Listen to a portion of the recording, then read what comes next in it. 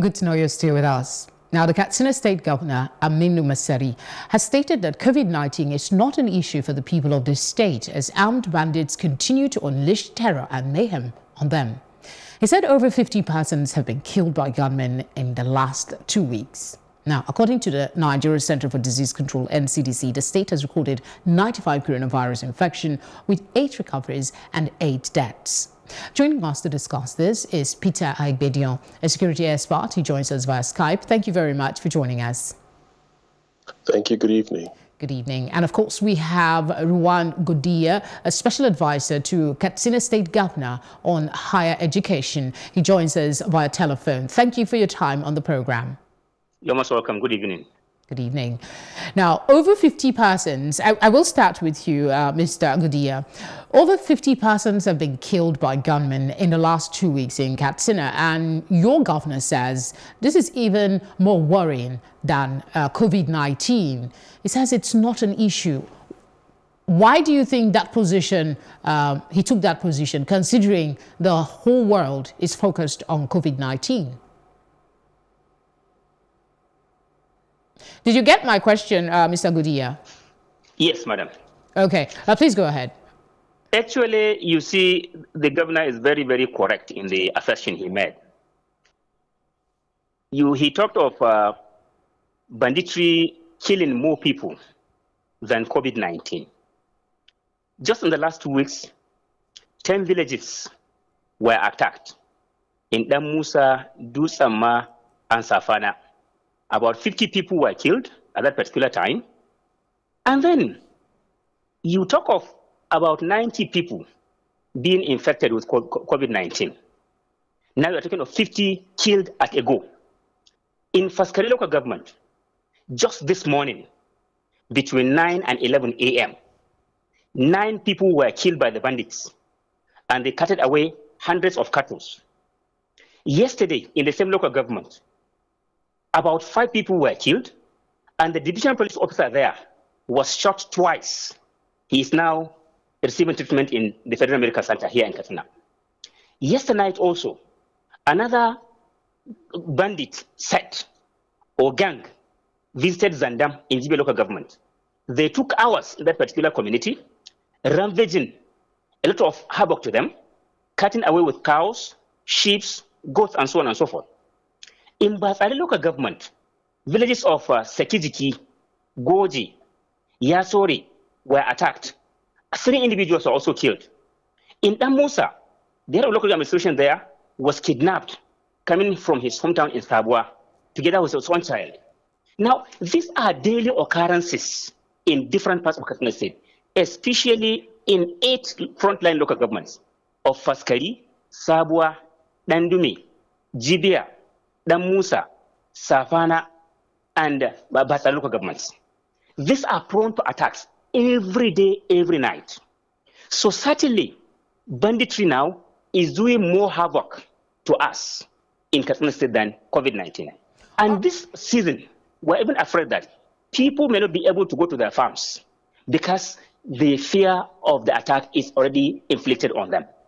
And you're taking of millions taken away by these people in the name of cows, uh, sheep, and so on and so forth. And then even the ransom that has been paid is in the tune of uh, millions. So economically, this is the havoc we are facing. In terms of loss of lives, this is the havoc we are facing.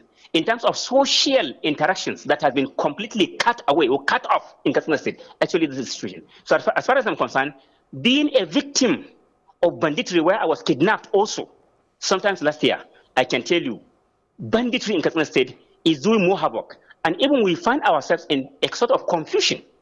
Are we actually having a federal government whose mandate constitutionally, as far as the 99 constitution, is the fact of uh, defending and protecting lives and properties? Here we are in Katsina State, the president is from here, but communities in the state are facing these dangers day in, day out, night in, night out. No pronouncement you can say has been made by the armed forces. Just a day last day or, or a, day yesterday or, or the day before, a team of federal, I mean, of the armed defense headquarters was in the state government with the governor, telling him that they are there to let him know that they are aware. What kind of thing is this? If you are aware, what effort have you been making in ensuring that uh, lives or properties of people are being protected in Katsina State? So I wonder what kind of government we are having of democracy that cannot depend the lives and properties of some people. In fact, we can say we are losing any feeling of government or governance in Nigeria as far as the federal government is concerned. All right, we'll come level, back to you, uh, Mr. Suffering. Godia. Well, we'll come yes. back to you in a bit. Let's bring in Mr. Eigbedion. Um, do you agree with the reason for the statement by the governor, as explained by the special advisor? Oh, oh absolutely, absolutely, and and even without um, hearing his his position, and especially him having been a victim of kidnapping by the bandits before. I mean, just common sense will tell you. Yesterday evening, the NCDC numbers for coronavirus in Nigeria was um, confirmed cases 3,145, with some 103 confirmed fatalities. That's deaths. Then, if you're hearing that over the course of two weeks from the governor that over 50 people have died, it tells you that evidently that they face a more grave threat from current from from armed banditry than from coronavirus.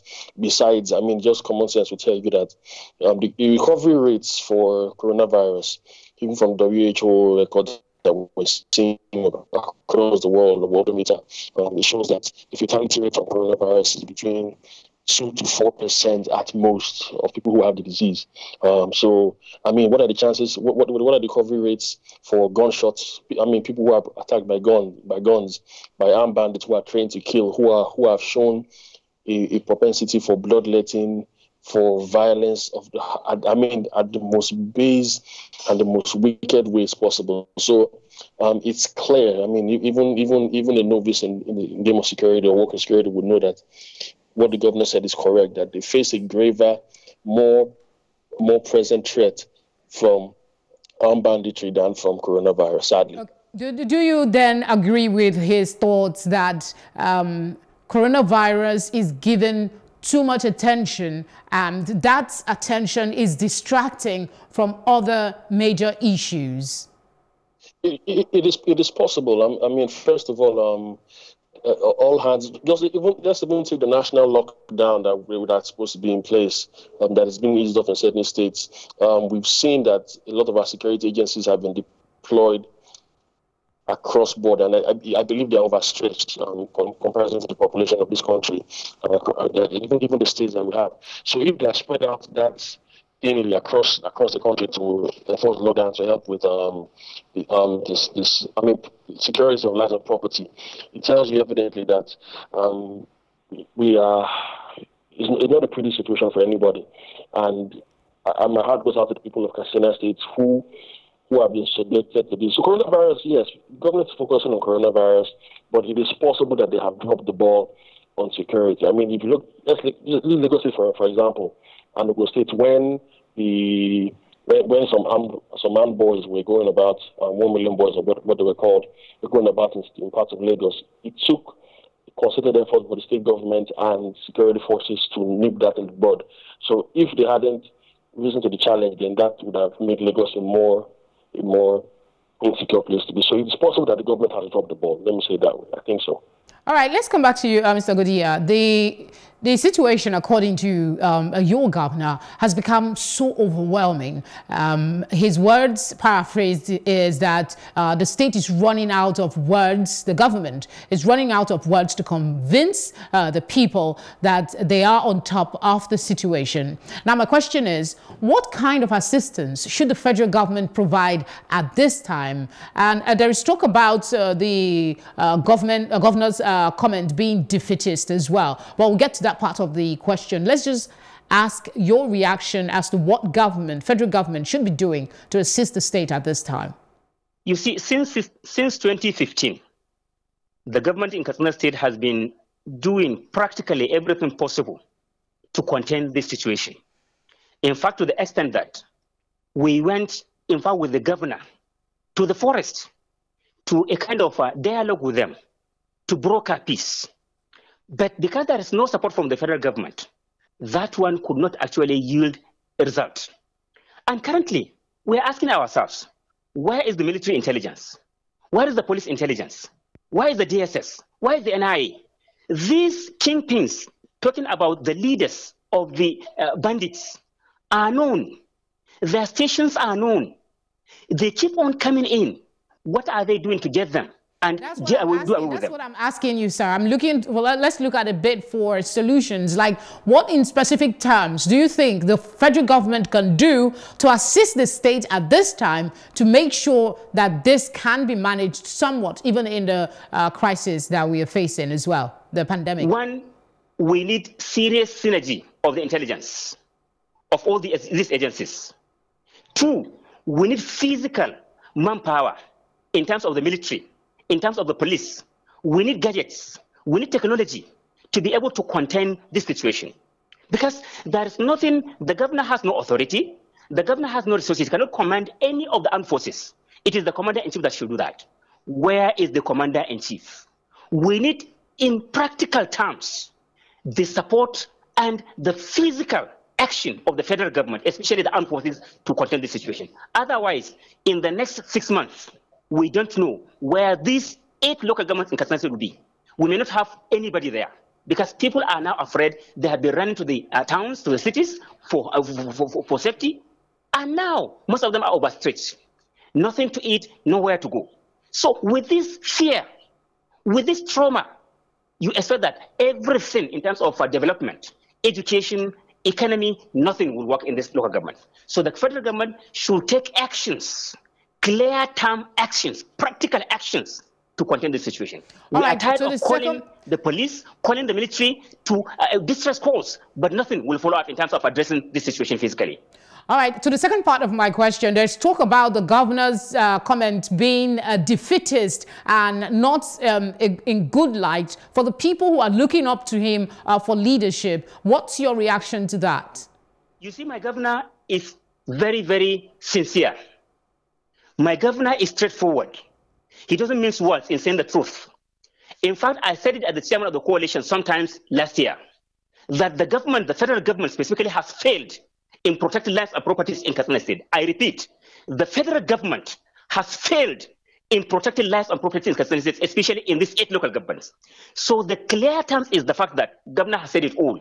He cannot do anything more than he has been doing since 2015 when he came into power. His hands Sorry, are tired. His resources are finished. His patience is exhausted. He cannot do anything. The federal government should come in and do something.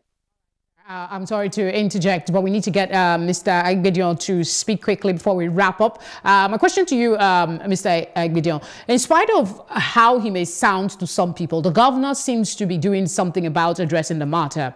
From providing support to the security agencies to brokering peace with some bandits, and they say they've repented. They thought that even though that they have repented, they seem to have been overpowered by those who are unrepentant, whom he says are more sophisticated. If you could give us your thoughts on this in about uh, uh, 30 seconds, I'll be very appreciative. Thank you. Well, um, I it's not surprising that um, the governor is in the situation that he is in. Evidently, he's not receiving the support that he should from the center, and it, it brings into question the, the, the agitation for restructuring in Nigeria. Clearly, clearly, clearly, um, the state has been left to its devices. People are people will suffer unnecessarily from from the unwillingness or I think that's what the unwillingness of the government to do what is right. So yes, people are going to suffer as a result of what we're seeing now. The government is unwilling to do what it's doing. The governor is doing his best, given the circumstances and given the way our constitution is is is, is, um is in place. But are certain things he can do. He has he has a lot of limits, and the federal government the buck falls on the president on the president's table. And sadly, he's from Katsina State, and he should be able to do much more than he has done. All right. Thank you very much, gentlemen, for coming on the program. Thank you for having me. And Mr. Agudiya, thank you as well. Thank you. You're most welcome. All right. And we'll go on a short break for Plots Report. When we come back, I will give my take. Just stay with us.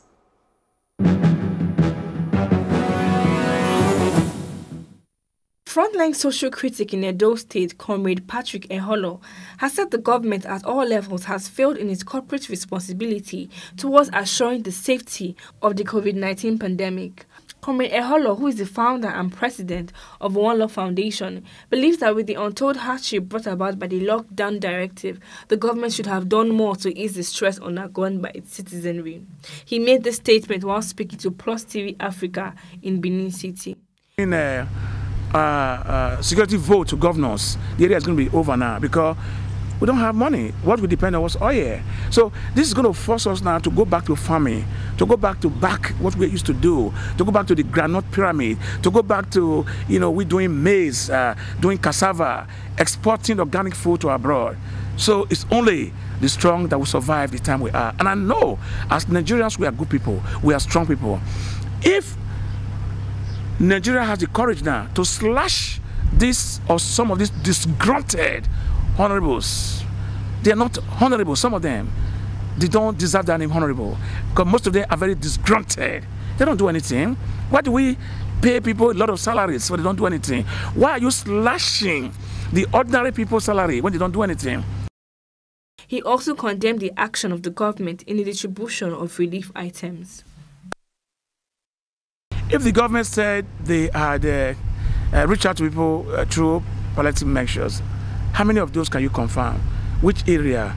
Was it done along party line or was it done for every citizen of Edo State? I am from this area. I've not seen anything. But I also know that I've been to IDP camp. We've not seen them there. I want to go give them some uh, some food and some other uh, things to help them. I also went to my village at uh, Ovia Northeast to assist them. Uh, I'm not saying they're not doing anything at all, but uh, when they are talking about figure, you know that something's already wrong. I mean, look at what happened with the uh, uh, federal level where they claim that over a hundred billion was spent in three days. I mean, come on, how did they do that? And then look at how fire gutted the place because of fraud, so that when we're going to tell them to explain, to audit for us, then there's no documentation to show. The Abacha loot for me is a clear manifestation of the pitfalls of unbridled greed and a continued reparation, for me, a confirmation that there can be some level of accountability for actions by our leaders. In my thinking, the repatriation will be for any leader who truly wants to make a change, a beginning, baby steps, if you please, to begin to claw his or her way back from a severe crisis of confidence and corruption. That is my take. I thank you for your time with us tonight. The program returns same time tomorrow. Bye for now.